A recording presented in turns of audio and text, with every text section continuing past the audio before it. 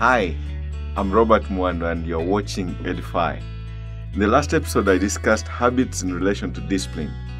I did not define habits. As I reflected on this, I realized there is much more we could learn on the subject. Why not? Let's make it a habit to learn. Psychologists say habits are forming. They call this the habit loop. It normally starts with a craving, a desire. And this desire is called a cue or a trigger. Once it clicks in the mind as desirable, it is followed by a routine. Actions you do to satisfy the craving or the desire. Then comes the reward, the feel good effect of your action. This process becomes routine and the routine becomes a habit. Most of us want to be in control of what we do, but often find ourselves doing what we do not want to do. We wish to be in control of our every action, but find that our habits are in control. Our will is overridden by what is habitual. Our habits are unconscious and determine at least 40% of our behavior. Apostle Paul in Romans chapter 7, verse 15 to 20 seems to agree. So, what do we do? Shall we be slaves to our habits forever? Is there hope? Is it even possible to break the bad habits and pick up better ones? Let's find out. Like Greek philosopher Aristotle said, we are what we repeatedly do. Excellency, then, is not an act but a habit.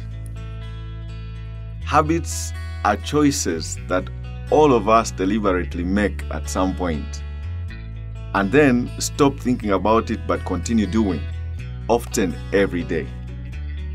An example as, as children, we are taught to brush our teeth every morning. Soon, this becomes a habit that we do almost automatically. When we learn our name, it becomes almost automatic that we know our name.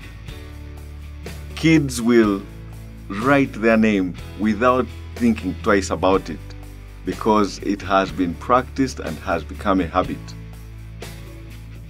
Another classic one when we cross the road, it is automatic that we look either side before crossing.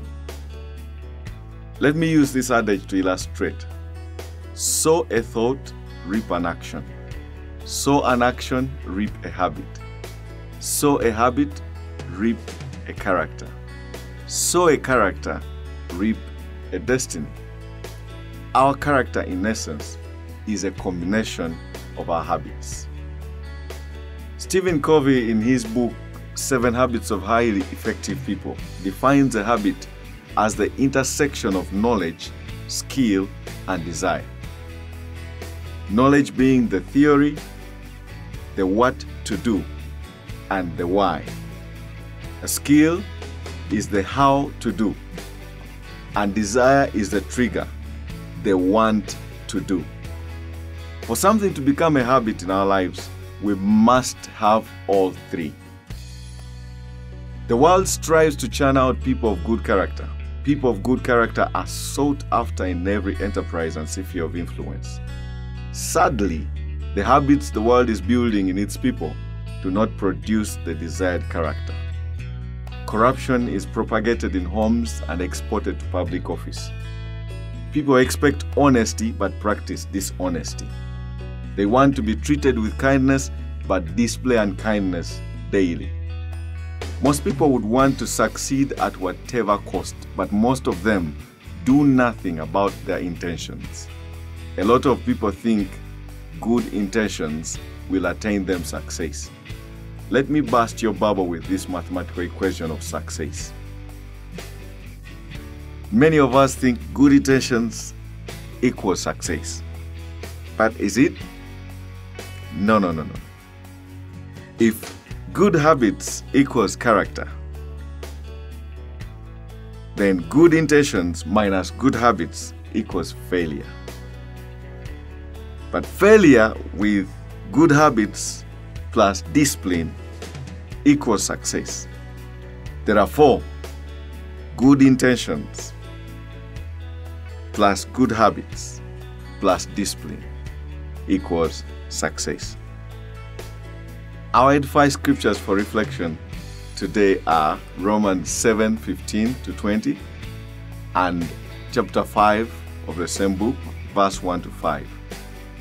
I will let you to read that uh, as you reflect on this episode today. God bless you.